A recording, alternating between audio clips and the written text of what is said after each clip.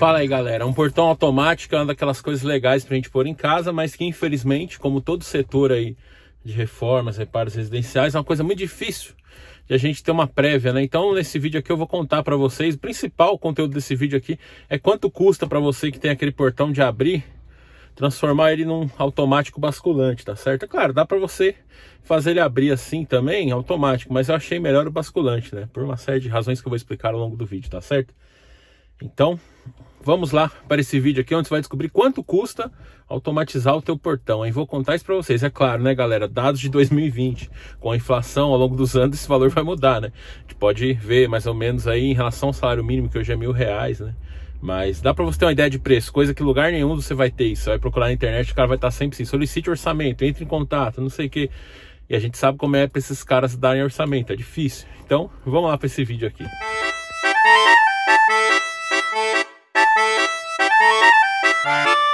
Como todo bom vídeo, existe uma história, não é apenas dar o valor aqui. Não posso até dar já no começo, mas vamos contar uma historinha rápida, não é história enrolada, é uma história bem sucinta. Mas o ponto é que na minha vida, muito tempo, desde o dia que eu tirei minha carta, eu já tinha portão automático na outra casa que eu morava, né? E assim, é uma coisa muito bacana, velho, porque são detalhes de dia a dia, né? Às vezes você fala, putz, frescura e tal. Mas não, velho, é uma coisa que facilita muito a sua vida você poder entrar no seu carro dentro da sua casa e sair. Você não ter que ficar destrancando o portão, trancando, tá ligado? Uma coisa que começou a me deixar maluco, né? Quando eu comecei a usar, que eu me mudei pra essa casa aqui que não tinha portão, foi mais ou menos três anos, né? Convivendo com portão manual. É a hora de sair de casa, velho. Às vezes você já tá atrasado pra ir pro lugar que nem eu vivo atrasado, né, velho? Eu sou atrasadão. Sou tranquilão, né? Vou ficar atrasado, não tem jeito. Então, que acontece? Você já tá atrasado, aí você tem que ir lá, destrancar o portão. Ainda mais quando tem corrente, é pior ainda. Você tem que tirar a corrente pôr do lado destravar. Aqui mesmo tinha três travas, né? Tinha uma da corrente, tinha aquela trava assim, aí tinha outra embaixo. Até você fazer isso, abrir o portão, você já está cansado. Por mais que seja uma coisa rápida, né? Mas comparando com a facilidade do portão automático, onde você só tem que apertar o botão, entendeu? Tipo, é um trabalho infinito, né? Que você tem que fazer. Aí você abre, aí você entra no seu carro, liga ele, sai. Aí você tem que parar ele na rua, descer do carro, ir lá, fechar o portão, pôr as travas, trancar, né? e entrar no carro de novo para aí sim você sair, né? Então isso é uma coisa que é totalmente broxante você já começar o dia fazendo isso. E quando tá chuva e quando tá frio, né?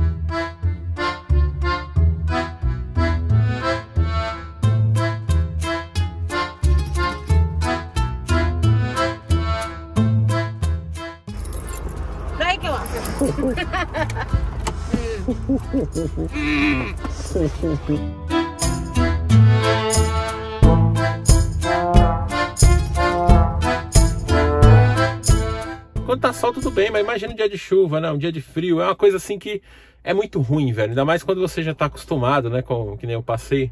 Acho que foram aí, sei lá quantos anos, mano. Uns 14 anos. Assim, sempre com portão automático em casa. Esses três sem eu sofri, mas então eu comecei a reparar, né? Porque aquela coisa, quando você já tá acostumado com uma coisa, aquilo é tão comum na sua vida que você não imagina como é a vida sem aquilo, né? E isso é gostoso, é uma experiência gostosa, né? Até para carro antigo também, às vezes tem carro, carro normal aí, carro mais novo, né? Você desce dele, você aperta o botão, ele tranca as portas. Quando você tem um carro mais antigo, você tem que fechar todos os vidros manuais, trancar cada porta e tal. Isso implica o quê? Que você demora muito mais. Às vezes você vai na farmácia, você vai na padaria buscar um pãozinho, você demora mais para tirar o carro da garagem do que o tempo que você gasta indo e voltando, né? Então, é, o portão automático não é um gasto, é um investimento, é uma coisa muito legal, né? Fora a parte de segurança, né? Parte de privacidade também, de você poder sair da sua casa sem entrar, hum, sem, tá ligado? Meu portão é aberto, né? Mas se você tem um portão fechado, por exemplo, você tem um carro blindado, que não é coisa de rico também, com 20, 30 mil você compra um carro blindado, você entra no carro na sua garagem, abre o portão, sai, fecha, vai embora. Até na hora de você chegar também, né? Isso é bem mais seguro, porque você. Imagina você 3, 4 horas da manhã, né? Tendo que descer do carro para ir e tal. Beleza, só que aí a gente cai num ponto que é muito curioso de tudo coisa que é de construção civil, né? Pra gente que é geração Y, geração web, né? A gente tá acostumado a fazer tudo pelo celular, velho. iFood, é Uber, tudo você vai lá, você tem o serviço que você quer, você tem o preço tal, store, né? Você entra no Buscapé, no Google Shopping, você compara os preços e tal. Essa área de construção civil, ela ainda é muito antiga. Aliás, com a dica aí de startup, mano, montem uma startup aí de construção civil com tecnologia, de uma forma que você consiga fazer porque até planejar é difícil. Por exemplo, eu fui planejar para o portão aqui, eu fiz um orçamento de dois mil reais. Isso era o tanto que eu ia gastar. Já já vocês vão ver quanto é que eu gastei. Se foi mais, se foi menos. Deixa aí nos comentários o que você acha. Mas assim, você vai pesquisar e tal, mas nunca tem o preço. Não tem assim, ó, portão 3 metros por 2 com, com motor tanto. Não, não existe isso. Você tem que ficar ligando pros caras. Aí o cara te dá um orçamento e fala, não, vem aqui então pra você medir pra gente fazer. Aí o cara não vem, fora isso, ligar, né? Ligar é uma coisa muito antiga. Tem muita loja que não tem nem atendimento por WhatsApp, né? No mínimo, pelo menos, né? No máximo, sei lá, melhor caso, você liga lá e o cara te dá um WhatsApp, aí você fica conversando com o cara por WhatsApp, porque é muito mais prático, né? Geração web, né? A gente que é geração nova, a gente está acostumado com isso. A gente olha preço em um, dois, três, quatro, cinco lugares diferentes e aí a gente escolhe aquele mais barato, aquele que vai prestar o serviço melhor, o serviço mais rápido, enfim. Então essa é uma coisa que pra gente faz muita diferença, né? E é uma dificuldade que eu particularmente encontro com obra e que me deixa assim meio estressado na hora que eu preciso fazer uma obra, porque eu preciso ficar nessas ligações aí. Inclusive, nesse meio tempo eu acho que eu falei com umas 5, 6 empresas diferentes, só uma que veio aqui de fato e foi a que fez o portão. Não, não. Ah, foi a que de fato fez o portão. Aí, galera, o que que acontece? Até chegar nesse ponto desse cara para fazer o portão foi um período grande, né? E aí você fica naquela, como é só um cara que veio, você meio que fica com uma sensação de escassez. Você pensa, mano, o preço que esse cara cobrar é o que eu tenho que pagar, tá certo? Independente de ser caro, ser barato. Até porque você fica meio no escuro, você não tem a noção de preço, né? E aí o pessoal vem, tira a medida e tal. E no meu caso aqui, eu quis manter o design da casa, né? Porque é uma casa assim, mais clássica. Então não adianta nada eu pegar a casa aqui meter um portão moderno. Aí minha casa vai ficar toda velha. Aí eu vou ter que sair fazendo fachada de novo, trocando janela, trocando tudo, trocando porta, porque não ia combinar, né? Então o que, que eu pedi pro rapaz fazer? Pegar o meu portão que era assim, soldar ele dentro do outro para poder abrir. Em vez dele abrir assim, ele agora abre assim. Foi só isso que eu fiz de alteração no meu portão, né? E foi legal, foi bacana, é uma coisa gostosa de fazer, né, mano?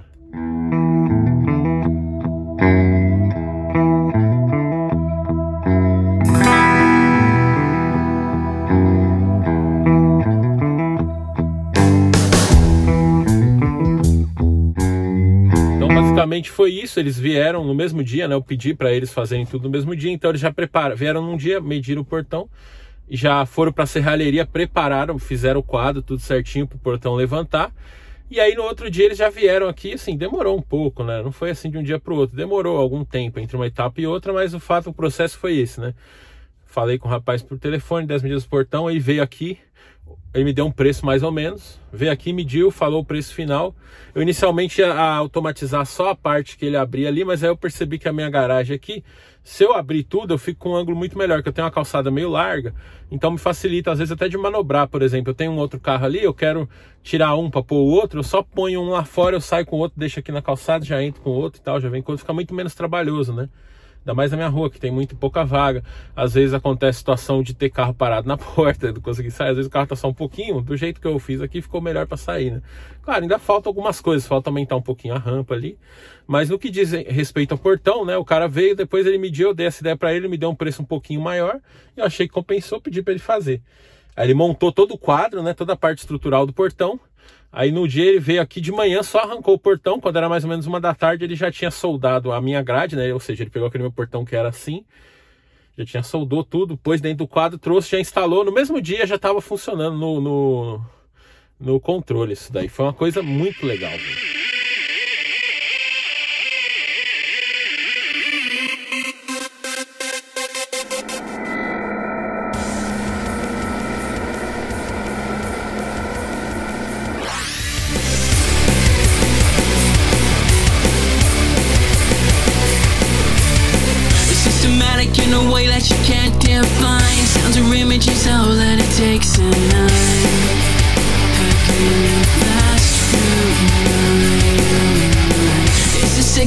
Cure at the same time An addiction I know but I can't deny.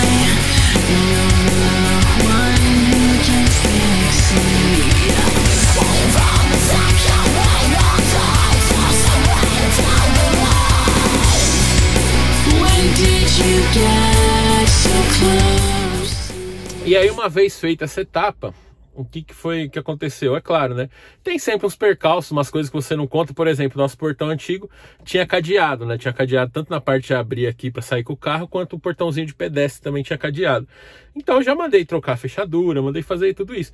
Só que é e pintura também, né? Porque a parte que vem, detalhe, não é uma outra coisa. Se tivesse uma startup de construção seria maravilhoso porque os caras poderiam fazer tudo, você resolver tudo num só lugar, né? Então você vê, já tive que ligar para 5, 6, 7 caras para conseguir achar um que fazia o portão. Aí eu tive que ligar para 3, 4, 5 chaveiros para achar um que vinha e arrumava a fechadura. Aí eu tive que pesquisar 5, 6 pintores para achar um que vinha e pintasse, entendeu? Então olha só o trabalho que eu tive, né? Se existisse uma startup de construção civil focada nessas coisas multidisciplinar, onde você pudesse contratar eles Mano, isso aqui é uma ideia de um milhão de dólares, velho. Faça isso aí se você for empreendedor, que isso aí vai dar certo. Eu seria cliente do negócio desse. Então, veja só, etapa 1, fazer o portão, né? Aliás, etapa 1 foi o orçamento do portão, etapa 2, fazer o portão. Depois, etapa 3, orçamento de, assim, achar um chaveiro. Etapa 4, o chaveiro vir aqui fazer o trabalho.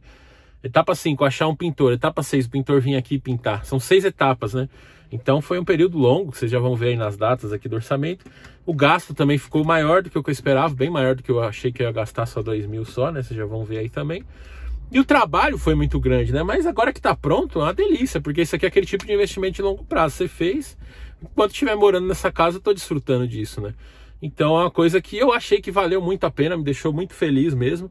E de quebra já consegui. Agora eu tenho contato de um bom serralheiro, que eu sei que vem, eu tenho contato de um bom chaveiro, eu tenho contato de um bom pintor, né? Então eu já tenho três profissionais aí para me ajudar no resto da casa, né? Porque isso aqui é só o começo. Eu quero fazer muita coisa nessa casa. Etapa 1, né, que é parecido com o que eu estou fazendo aqui, só fazer algumas modificações mais funcionais, manter a estética antiga. E a etapa 2, quando o pessoal todo aqui pegar gosto por isso, a gente vai fazer. Minha ideia é redesenhar a casa inteira, da fachada até lá em cima. Eu tenho até o plano de um dia, aqui tem telhado, né? Pegar o telhado, derrubar, botar uma laje, fazer uma piscina enorme, assim, uma raia de piscina olímpica. Só uma, para eu poder nadar né, em casa, lá em cima. Eu tenho planos ambiciosos para essa casa, tá certo? Um dia a gente chega lá, né? Mas aos pouquinhos a gente vai fazendo. Então, galera, o fato de eu ter feito esse portão aqui, foi muito legal, foi uma experiência que deu trabalho, né? Claro, poderia ser muito mais fácil, mas eu consegui fazer, esse é o ponto. Apesar de todas as dificuldades, a gente conseguiu aí trazer os profissionais, eles fizeram, barato ou caro, valeu a pena para mim, tá certo? Então agora eu vou abrir a planilha para vocês verem os custos aqui, para você ter uma ideia quando você for fazer o portão aí da sua casa. Então, como é que começou a brincadeira? No dia 1 de setembro, né? E terminou hoje aqui o portão, dia 29 de setembro.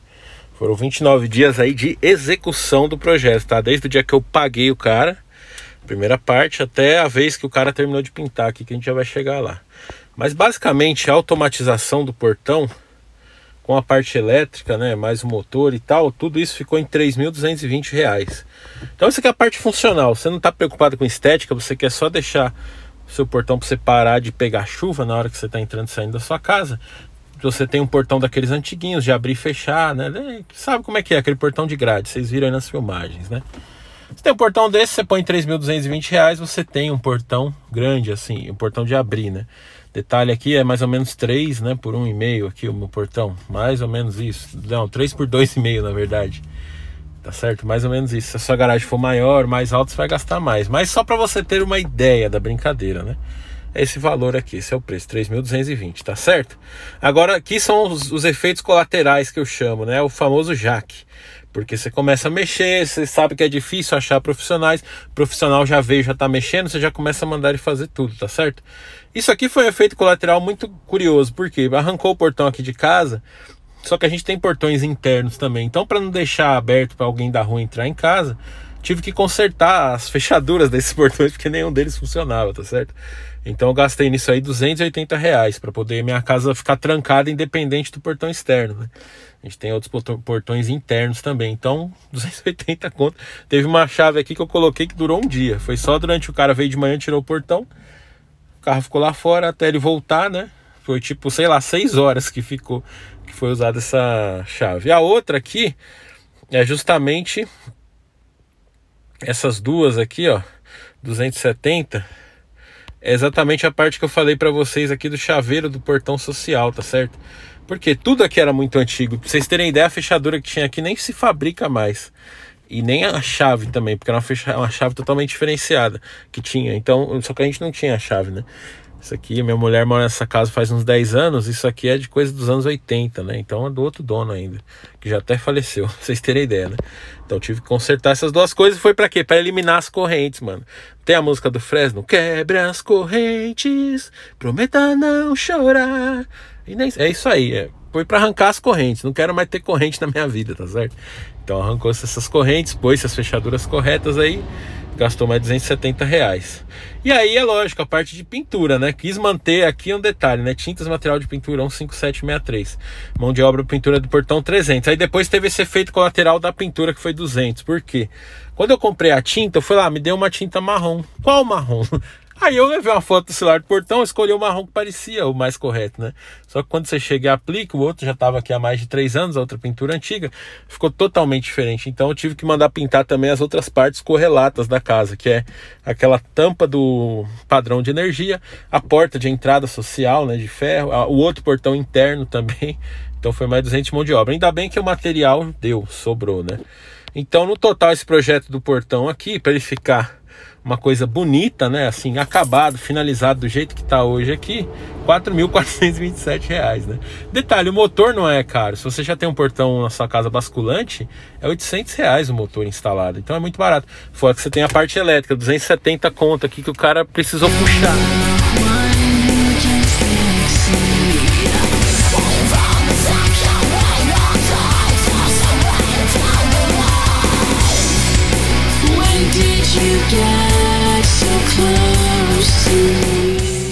Cara precisou puxar, eu pedi para ele pôr um eletroduto para ficar mais bonitinho, igual vocês viram aí, né? Até dar um design meio industrial, né? Que é o que eu pretendo um dia convencer minha família que a gente tem uma casa todo estilo industrial. Quem sabe a gente chega lá, quem sabe a gente não chega, mas já está preparado para o estilo industrial aqui, né? Então basicamente foi isso, galera. R$ 4.427,63 com 63 centavos aí foram os gastos dessa verdadeira restauração aqui que a gente fez aqui em casa. Você já viu aquela história de obra do governo que os caras têm um orçamento de 200 milhões e no final fica por 400 milhões, 500, 800? Claro que normalmente no caso do governo o orçamento é 200 milhões e o final da obra fica 2 bilhões, né? Fica bem mais caro, mas o ponto é, qualquer escala de obra, qualquer escala de projeto que você for fazer na sua vida, você vai gastar mais, não tem jeito. Eu falei aqui antes no vídeo, né? Eu achei que ia gastar 2 mil, gastei 4,200, ou seja, eu gastei duas vezes aí a mais, né? Não chegou a três, mas foi mais do que o dobro. É, isso já é um raciocínio que eu tenho antigo. Sempre que eu olhar qualquer coisa que eu for fazer de obra, eu sei que eu tenho um orçamento inicial ali, uma ideia inicial, tem que ser vezes dois, porque tudo, tudo que eu fiz de obra na minha vida até hoje, já fiz bastante coisa, né? Antigamente, lógico, acompanhando os meus pais, vendo eles fazerem, né? Detalhe que na época do meu pai, ele mesmo fazia as coisas, então economizava muito com mão de obra. Mas mesmo assim, material, às vezes você compra esse material, o material não dá, você tem que comprar mais, aí você tem que comprar EPI, tem material que é descartável, tem material que você compra e você não usa porque não serve, né? Então tem tudo isso, galera. Tudo isso faz parte da obra. Depois eu ajudei, né, também nessa obra com meus pais. Ainda meu pai viu fazendo algumas coisas, eu dando dinheiro para comprar material. Depois meu pai ficou, infelizmente, inválido e aí teve que contratar mão de obra para fazer e contratar material. Agora essa aqui é a primeira obra que eu tô fazendo assim, mais sem a minha mãe, sem meu pai, né? Porque eu não tô na casa deles. Mas aqui também eu tenho ajuda do pessoal de casa, principalmente essa parte de ficar ligando, ficar achando profissional. Isso eles me ajudam bastante, a parte de pagamento também. Mas assim, é complicado, esse é o ponto, né, mano? Qualquer coisa que você for fazer que é de obra é complexo, é um projeto, essa é a grande questão, né? E ainda tem esse fato de você ter diferentes profissionais, né? Às vezes o profissional não vim, velho. Eu teve uns três caras aí de, portão que os caras nem vieram aqui ver, velho. Os caras, ah, vou tal dia, vou tal dia, entendeu? E aí depois também tem a questão do prazo, né? Às vezes o cara fala, ah, tal dia eu te entrego o negócio. Esquece, não vai te entregar no dia. Se o cara te entregar um dia depois, você tem que ficar feliz, né? Mas a obra é assim, tá certo? Se você vai começar uma obra na sua casa nunca fez, saiba que é assim. Mesmo, já vá preparado, prepare seu psicológico. E sabendo disso, né? Por isso que eu também pedi pro rapaz tentar pôr o portão no mesmo dia, né? Porque imagina se o cara vem aqui, tira o portão, e tipo não consegue fazer no dia, ele vai voltar no outro dia. Às vezes tem um final de semana, o cara vem na sexta, aí não consegue, aí vai só no segundo. Então foi de um jeito assim que já com esse conhecimento, sabendo dessas dificuldades, me ajudou, né? E tem um detalhe também, mano, aí parece um profissional que faz um serviço legal, você abraça ele e vira da família. No,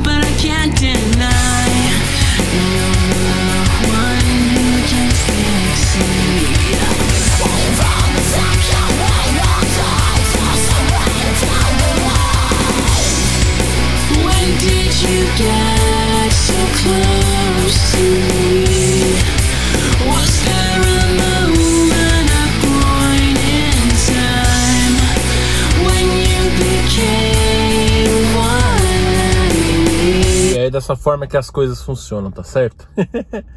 Então, deixe seu like, se inscreve aqui no canal. Sempre tem vídeo aí saindo muitas coisas. Agora vai começar a sair vídeo de reforma aqui, né? Em breve, essa garagem aqui toda, ó. Pintar ela de branco, lembrando, né? Primeira etapa da minha reforma. Pintar ela de branco, pintar o chão aqui que é cinza, de cimento. Não sei se dá pra ver aí no vídeo. Pintar ele de, de uma corzinha marrom, né? Pra combinar com piso. Aquela história, só pra dar o start no negócio, tá certo? Só pra deixar tudo renovadinho. Aí depois a gente vai fazendo pequenas intervenções de design, né? Para poder deixar o negócio industrial. Mas primeiro eu preciso que a casa inteira esteja bacaninha, tá certo? Então vamos fazendo aos pouquinhos, né? Sem pressa para não cansar, para não ir à falência também, porque é foda, né? Mas a gente chega lá, se Deus quiser aí, com a ajuda dos nossos profissionais, colaboradores que a gente vai conseguindo aí para ajudar no projeto. As partes que eu posso eu mesmo faço, as que eu não quero, não gosto, não consigo fazer direito, eu terceirizo, né? E é isso aí, galera. Beleza? Forte abraço, fiquem com Deus, sejam bem-vindos aqui ao meu canal, canal do Cristiano vídeo novo praticamente todo dia aí para vocês.